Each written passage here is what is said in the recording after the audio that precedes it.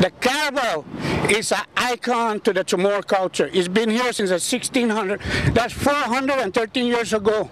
That's why my sign behind me says, Mga matanda un katuran i Chamorro i Carabao. Bank of Guam has it as an icon. There's plastic carabaos going around showing off to the tourists, welcome to our island. But I got a real carabao but you can experience a real life riding a real life carabao for your lifetime.